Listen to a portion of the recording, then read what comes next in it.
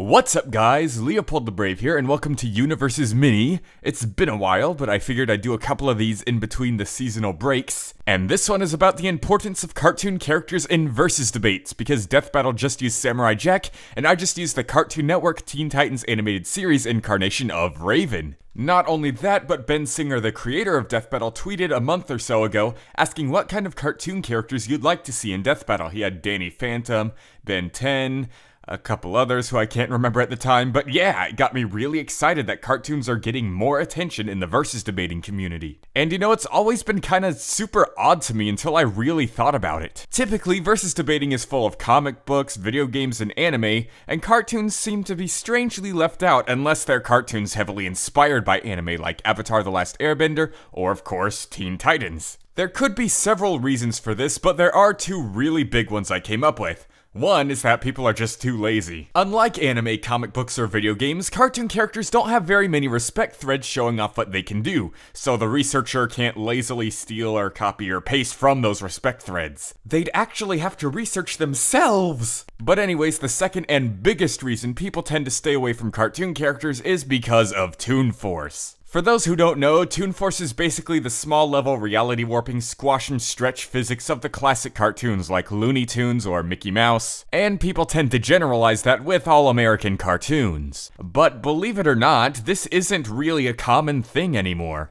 Granted, there are still a couple modern cartoons like SpongeBob or The Amazing World of Gumball that have lots of fourth wall breaking and Toon Force. But really look back, guys, at all the cartoons of not just the past decade, but the past couple decades. You've got Adventure Time, regular show, Steven Universe, OKKO, then of course you got the Samurai Jack, Teen Titans, Avatar The Last Airbender, even Codename Kids Next Door, Total Drama, Danny Phantom, Powerpuff Girls, and this isn't even counting all the animated movies, like the Disney animated movies, the DreamWorks, Pixar, whatever you want to go with. They're all pretty consistent and well grounded too. Lilo and Stitch, How to Train Your Dragon, Kung Fu Panda, there's so much to choose from. That isn't even all of them either. There's still stuff like Invader Zim or My Life as a Teenage Robot. I could just keep going on. So don't try to use the excuse that that's still a small list in comparison to anime and comic books, because it isn't. It's huge. All of those things that I just listed have very little to no Toon Force in them at all, and their verse is barely affected by any of it if it does show up. So yeah, definitely try to use more cartoon characters in verses,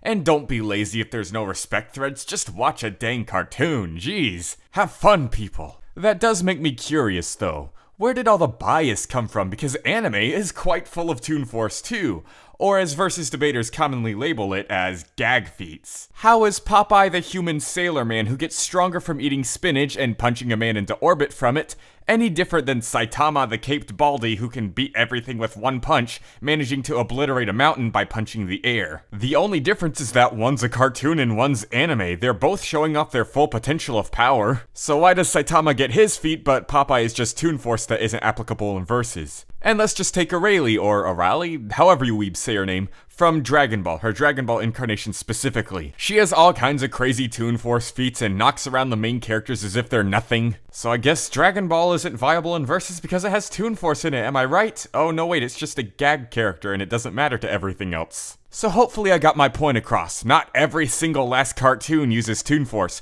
There's so many of them that don't. More than enough to equal the anime and comic book library. And for the ones that do have Toon Force, so what? Just let them be that powerful. Let them fight an equally powerful opponent. The only difference is that one did it comedically while the other seriously. Just don't be scared to use cartoons. I'm tired of being the only one. We need some variety. But with all that said, I'm very glad cartoons are starting to show up more in verses, and I'd like to recommend a video. Go check out Just a Robots, The Powerpuff Girls Are Stronger Than You Think. It's honestly a pretty good example of all that I've talked about today. So see you guys later. Leopold the Brave, out.